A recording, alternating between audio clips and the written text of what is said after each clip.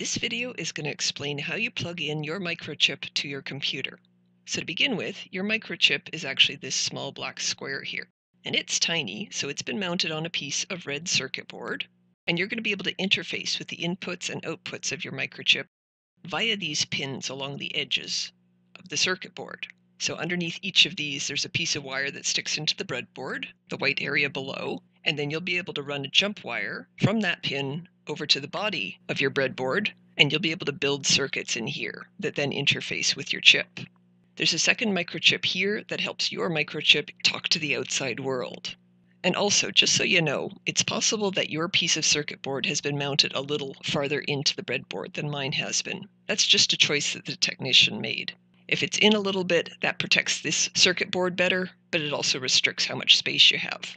They're both perfectly valid choices, but if you want to pop out your piece of circuit board and move it back and forth, feel free to. Now, in addition to your breadboard, you've also been given a USB cable, and one end of it is just a regular USB, and the other end of it is a micro USB.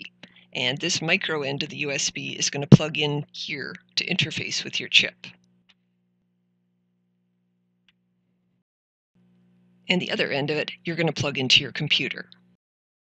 Now, as soon as you plug in your chip to your computer, it's going to open up this Xpress board memory storage drive.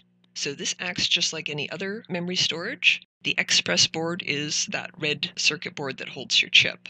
The way in which you're going to program your chip is you're going to drag and drop a hex file into this memory storage, and that programs that piece of code onto your microchip. I'll show you how to do that in a separate video.